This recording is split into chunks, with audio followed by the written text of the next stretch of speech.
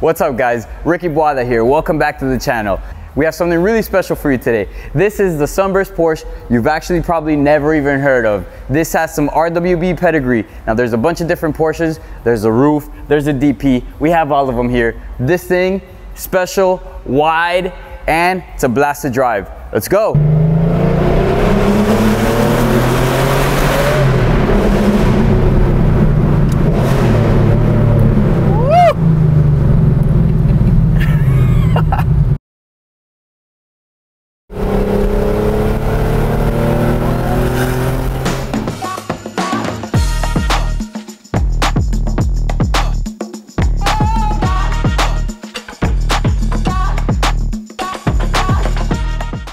This is literally what I'm driving right now.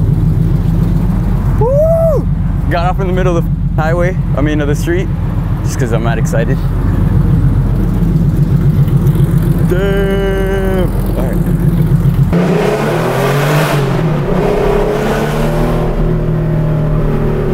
Eddie, look what we're doing right now. This is what this car is made to do.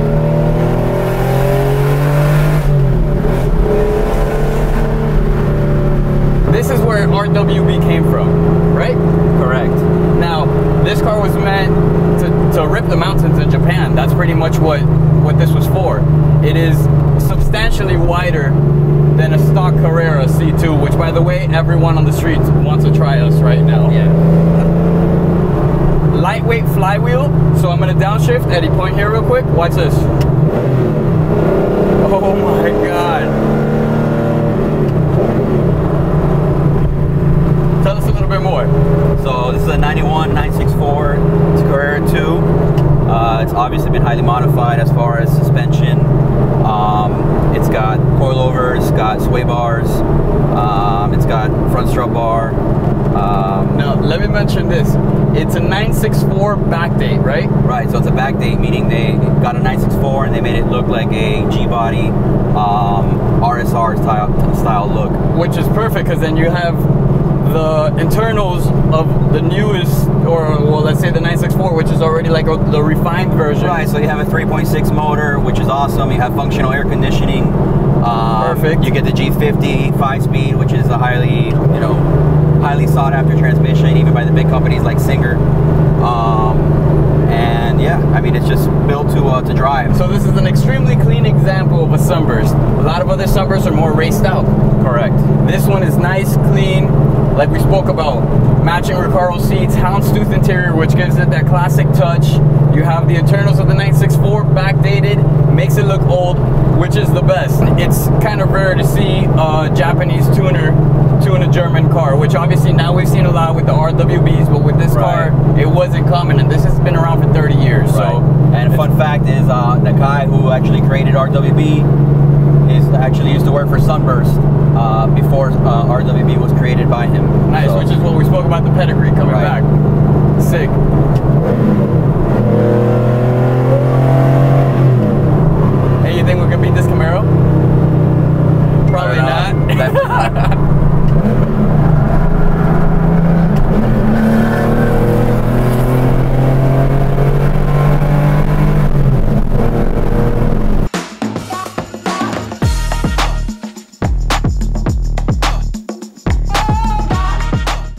back at RMC Miami. I'm gonna talk to you about this amazing car. It's got the Momo steering wheel. It's got the beautiful gauges with the 911 big tach right in the center. Working AC controls, which is big in these 911s. Remember, this is a 964 backdated. So you think you're in an older car. Why? Because older is cool. Another cool thing about this car is, boom, push to start. Are we good? Keep in mind, this car is all about lightweight. It's got the RS door cards, which means that it doesn't have the handle here. It's got this little string and plain door cards. Now let's go outside and I'm gonna show you all around the aerodynamics of this car and why it was meant to track around the mountains. So as you can see, this car has a lot wider track in the front.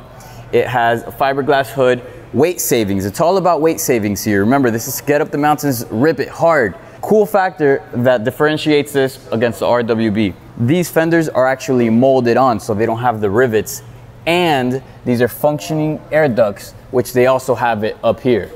If we step out to the back of the car, you can tell that it's got the track over a foot wider than the standard C2. Over a foot wider. Which also includes working air ducts over here. This is a mesh grill, keeps the engine cool, and it's also just all about functionality in this car. Remember, these are meant for the track, these are meant for the mountains, these are meant to actually be driven. A lot of the other cars that you see, for example, you know, are pretty much a show queens. This car drives really good. You can rip it. It's got the RS flywheel, which just goes whoop in downshifts, getting in and out. Classic Porsche sound. Can't beat it. In this particular car, you can tell it's a Euro spec car because it's got this little turning signal here. And we leave you here from RMC Miami. Make sure you like, subscribe, and stay tuned. You can fit one, two dollars.